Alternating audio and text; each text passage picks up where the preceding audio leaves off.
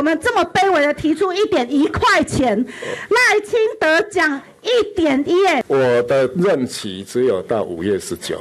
所以到现在为止，我能够掌握的资源没有办法让我去做到这样。我把就要卸任的卫福部长薛瑞元面对健保法六十二条修法，心情有点无奈。现行健保总额支付制是每年编预算时先定出支出上限，结算时再除以全国医院申报点数，决定最后支付金额。以二零二三年来看，支付给医院的浮动点值大约每点零点八元，台北分区更是每一季都低于零点八元。立委提案支付点值固定为一点零点九五元到一元，不足部分由政府预算补足，但卫福部直言表示无法执行。无其他配套的话，有可能两当根本就倒啊。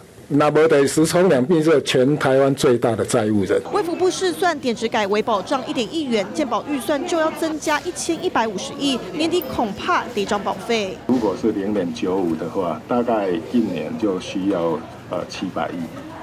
如果是一点一元的话，就可能需要一千一百五十亿，所以很快安全准备就不够了。那医院现在呃还勉强能够撑下去。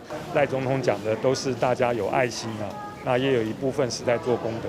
卫福部应该去做一个通盘的检讨，把有一部分真的能够由公务预算支出的，把它。